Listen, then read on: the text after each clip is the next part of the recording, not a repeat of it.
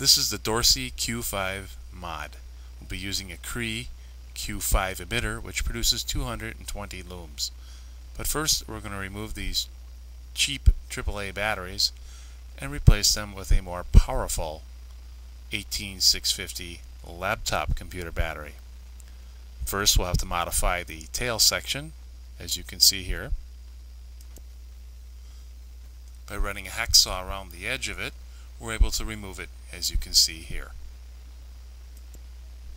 The uh, new battery is a little too long so that's why we're trimming this down.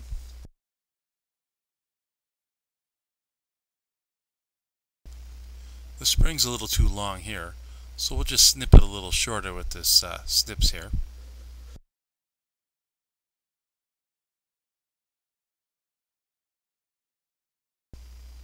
And this is where I'm going to solder the Cree emitter lead wires to.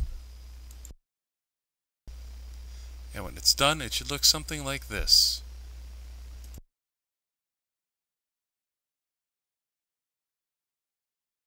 I bought the emitter for only $6.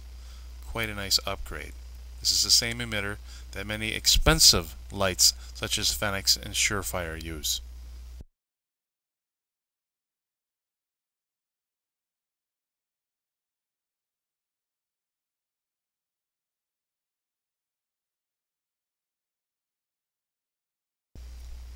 It's six times brighter than the original emitter that this flashlight came with.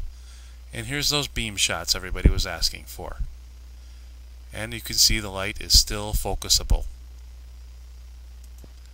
And there you go. We have a $10 Dorcy with a $6 Cree emitter putting out just as much light as those expensive flashlights.